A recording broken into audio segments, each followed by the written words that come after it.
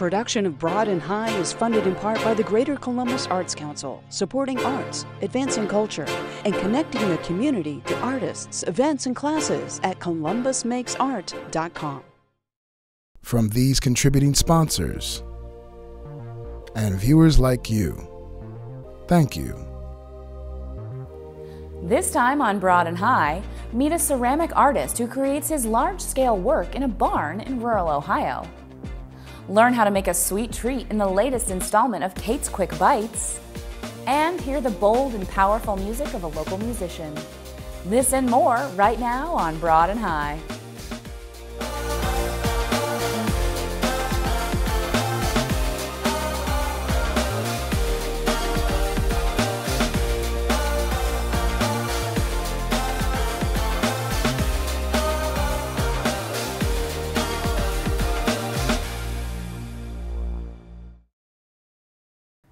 Welcome to Broad and High. I'm your host, Kate Quickle.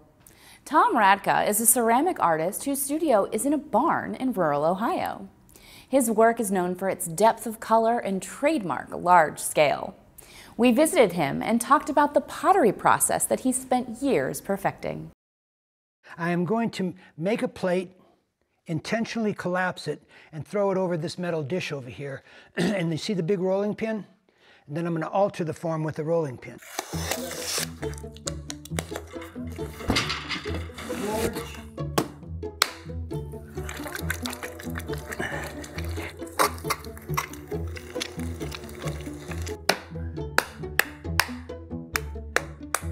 So that is now 25 pounds of clay. This little tool is called the strong arm and it helps save my wrist. It even has a feature that will open this up for me. Have to have plenty of water for this vase.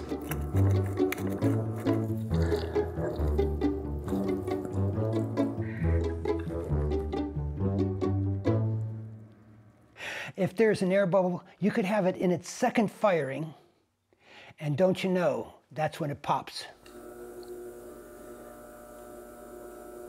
So as I flatten it down, I'm making sure that I don't go too far because then it collapses. I want this to collapse when I want it to collapse and that allows me to do, make the kind of plate that I want to make.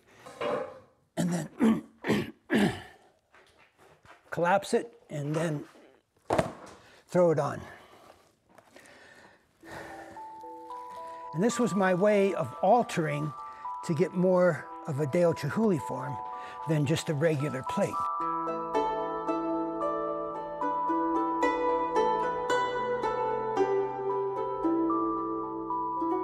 The Asian aesthetic is, means a lot to me because I've had four exhibitions in Bangkok and one on the island of Phuket. And I used to go to the basement of the Cleveland Museum all the time where they had the best Asian collection. Just the, the subtleness of it, you know? I guess that's what mainly attracted me.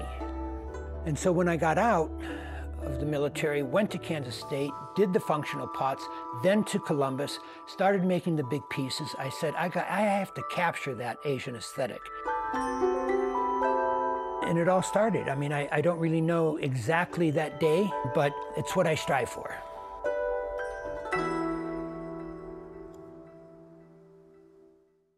So I'm doing an art festival at Boston Mill Ski Resort in Peninsula, Ohio. My friend's name is Jack Beecham, and he, he sees that most people make a 25 inch in diameter plate. It's got some kind of a rise to it, but I'm wanting them to be as flat as possible. So Jack says, well, if you like flat work, why don't you work with tiles?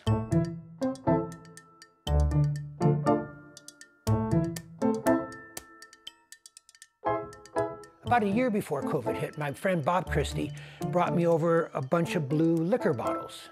He says, you want these? I said, I don't know, put them over there.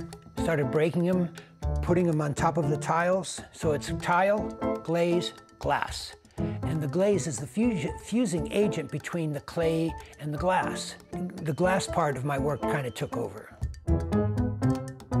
Well, when I look at it, it's the same kind of fascination I have for a blown glass piece. Too darn bad, I, the tile couldn't be translucent and you could look through the tile through the glass and have that effect. But it, it's, it's close enough because with good lighting on it, people think it's glass. They say, so this is glass, huh? No, it's clay with glass uh, fused to the surface. Okay, so this is a good example of the Asian influence. This is the unfinished circle, and over there in Thailand, or maybe all of Asia, it means good luck. But I wanted to do something a little different, not just to use a big brush to create these black marks, but I got little pieces of uh, blue bottles and I put them in there because I also wanted to look, I wanted it to look a, a little celestial. And that's why this piece looks like the way it does.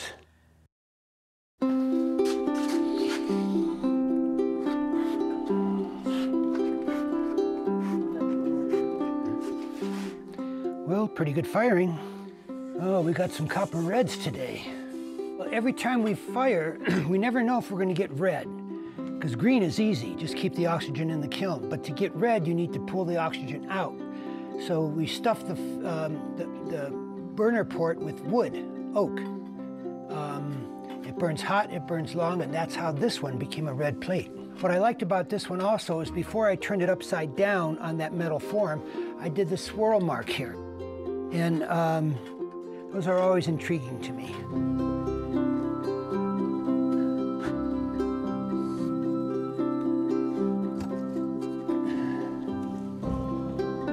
So you see, this is why I like to alter the plates.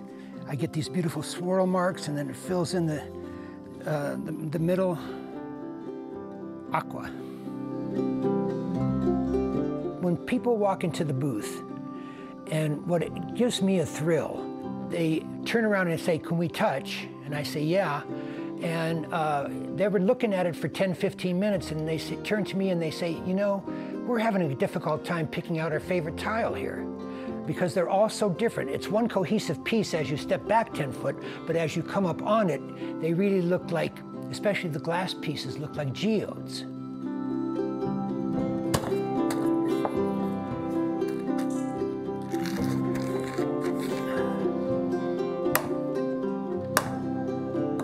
For the signature.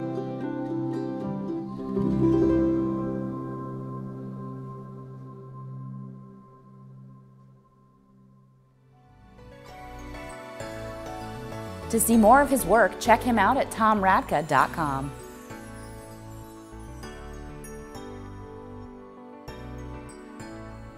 Just in time for Valentine's Day, we head back into the kitchen to make a sweet, chocolatey treat and to learn more about a Columbus institution whose students unleash their creative power to shape culture and commerce.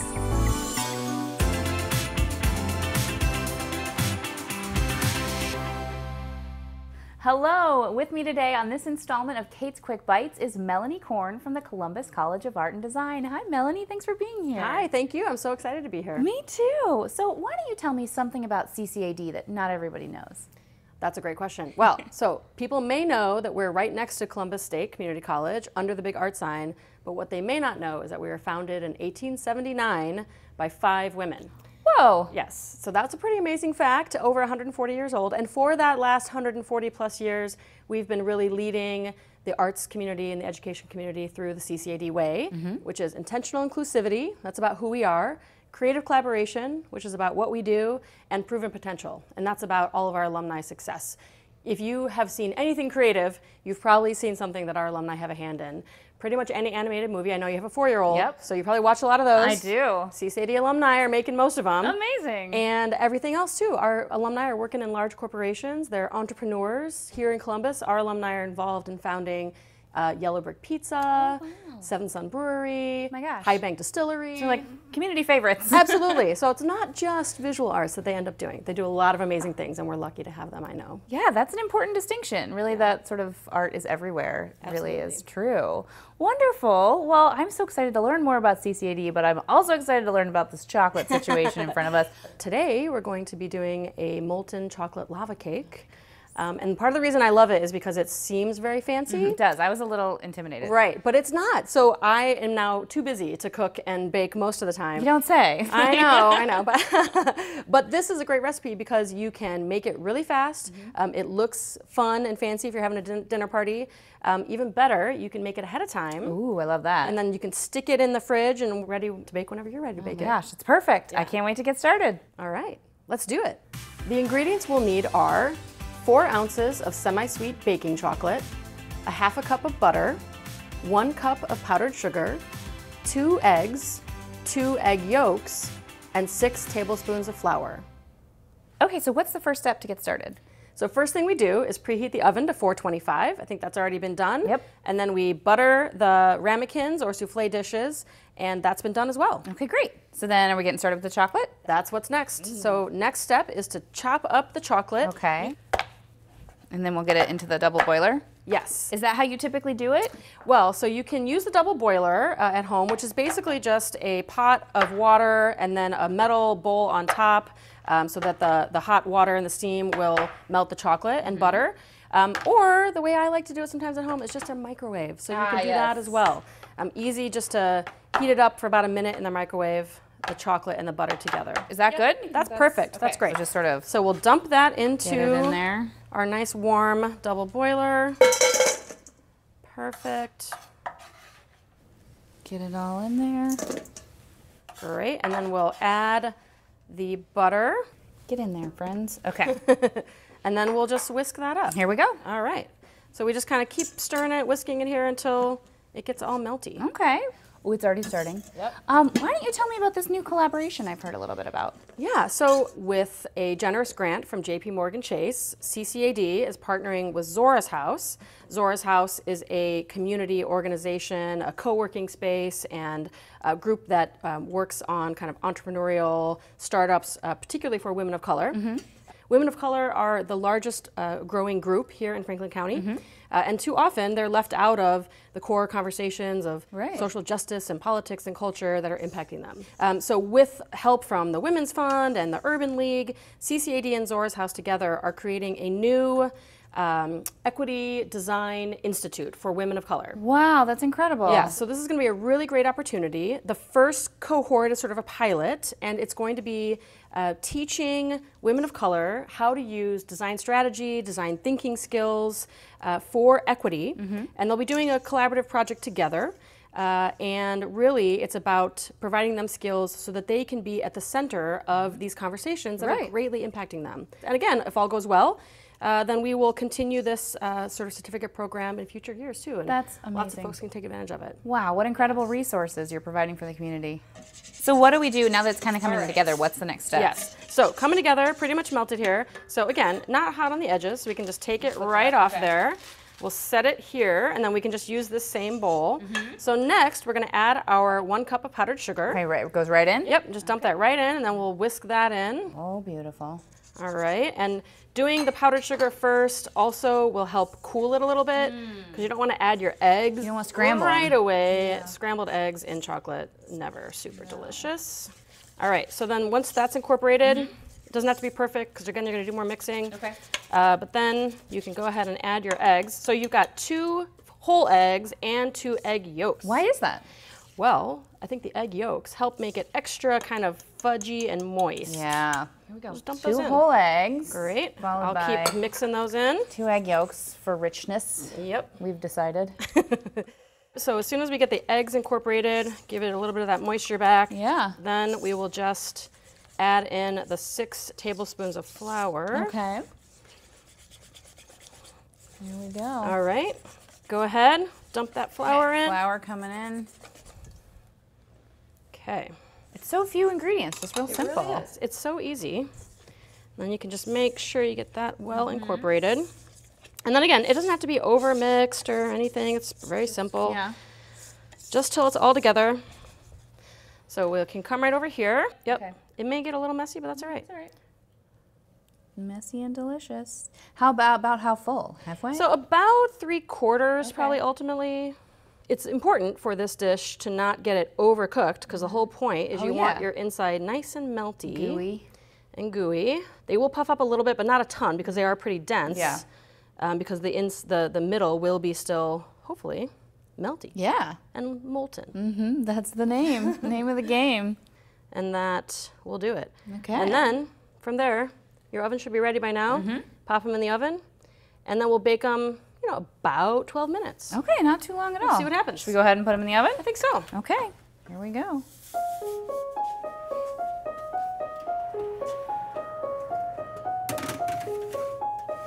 In they go. All right, well, while those delicious chocolatey cakes are baking in the oven, why don't you tell me about some ways that community members can experience CCAD outside of earning a degree there? Yes, absolutely. So there are so many ways that the community can get involved with CCAD. So first of all, in addition to our degree granting classes, we have a lot of community education classes. We've been offering Saturday morning art classes for over 100 years. Um, Saturday morning art classes are great for kids, but we also have adult Saturday morning art classes. We also have a lot of other kid programming in the summer, so um, summer camp style, creative summer workshops, a college preview course where uh, high school juniors and seniors can come and actually stay in the residence hall Oh, and nice. earn college credit, and that's really fun. Yeah. Um, but if you don't want to commit to a whole class, uh, you can come down and come to one of our many free lectures. We have a lot of artists and designers and other intellectuals come and talk at the college. Uh, we have a wonderful gallery, Beeler Gallery, Mm-hmm. that's always free and open to the public. Um, we have a lot of other bigger events too. So twice a year we do a big art fair. Mm-hmm. This is a great art sale of student and alumni work, so everyone should come check that out. And of course the fashion show. yes, the fashion show. Yes, the fashion show is a hit always. It's our big uh, sort of gala um, where all of our senior fashion designers get to actually have their looks on the runway, real New York style runway show. It's pretty fantastic. That's an incredible opportunity. Well, great. It just sounds like there's so many ways for people to get involved that they may not have been aware of. Absolutely, yeah, yeah. I think uh, CCAD um, is too often referred to as a hidden gem, uh, and I want to make sure it's no longer It's a visible gem. Exactly, it's a big shining gem of the city, uh, right under the hundred foot tall art sign. Can't miss it. Can't miss it. Come check us out. Okay, this whole kitchen smells heavenly like chocolate. Our cakes are out of the oven. They look beautiful. Yes, thank you. Here they are. And so, yeah, 12 minutes, and then you got these lovely little cakes. And I just want to dig in, but there's one more step. One more step. You can dig in, but it might, you know, might, might be a little toasty. So, what you're going to do is you're going to just take a butter knife or anything and just kind of, you know, gently loosen around the edges. That'll just help you get it out. Again, it doesn't have to be perfect. Okay. And then, um, ideally with a towel or a hot pad or something so you don't Mm-hmm. burn yourself, grab your little bowl. You're going to invert it here into a, a, a dish, Flip flip, and pray. and then, yes, there we go. Look at that. Look at it. After you've done that, then you can um, you can just eat it as eat it. is. You can put some ice cream on it, some whipped cream, some berries, whatever you want on your little chocolate cake. Last step, Taste them? dig in. Okay. Gotta have a bite, right? fork. Here you go. Okay, don't burn yourself. Okay, they are hot. But yes, if you kind of just like Get a little. poke it. Oh yeah, look at that molten. Look at that. Mm, Oh, this is like my dream dessert. Okay, a little bite. Yeah.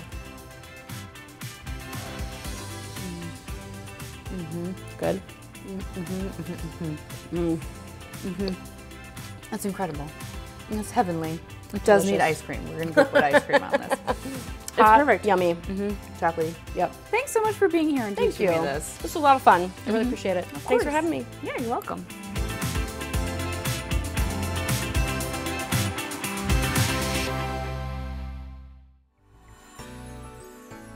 To learn more about the Columbus College of Art and Design, visit ccad.edu. Musician Sam Craighead puts a unique twist on everyday thoughts and interactions in his work. We hosted him recently for a Broad and High Presents session. Let's take a listen.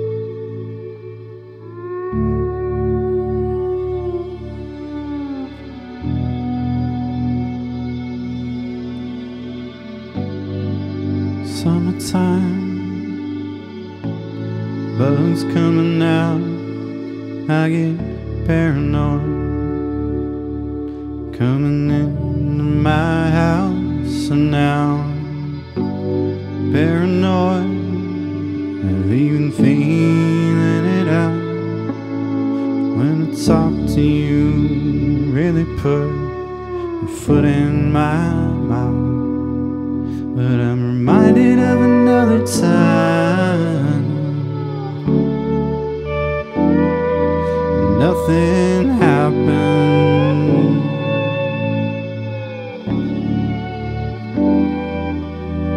If you ever get to sleep at night,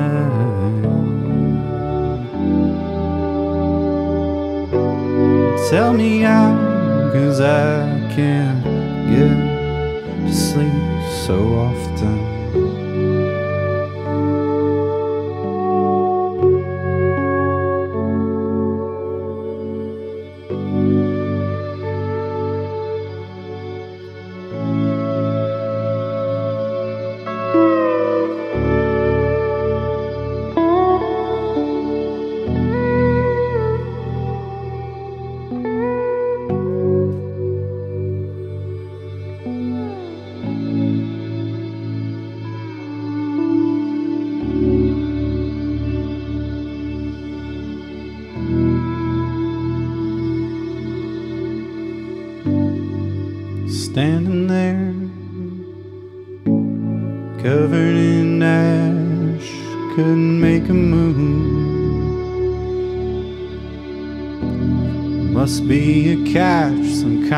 Trick you pull. Pull the rug from right out.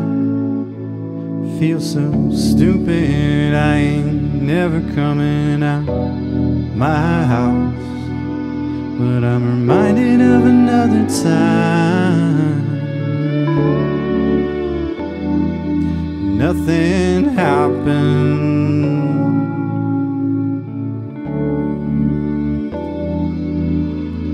If you ever get to sleep at night,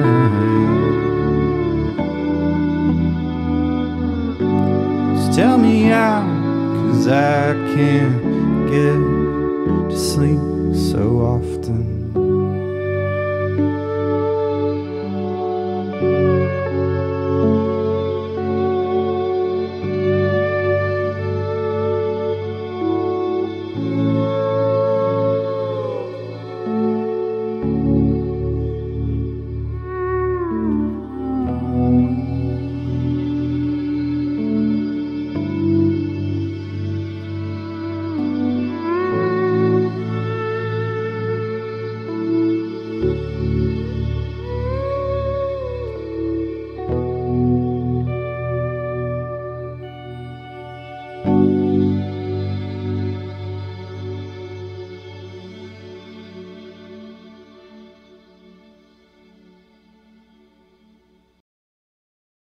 To hear more, check him out at samcraighead.com.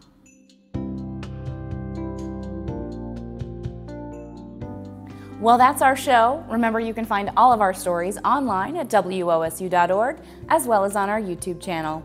For all of us here at WOSU, I'm Kate Quickle. Thanks for watching. Sitting in the chat room, trying to wait for you to log on in private message, talking group chat to all my friends. Went off to art school, don't have time to hang. I don't get that kind of homework at Columbus State. So I'm meeting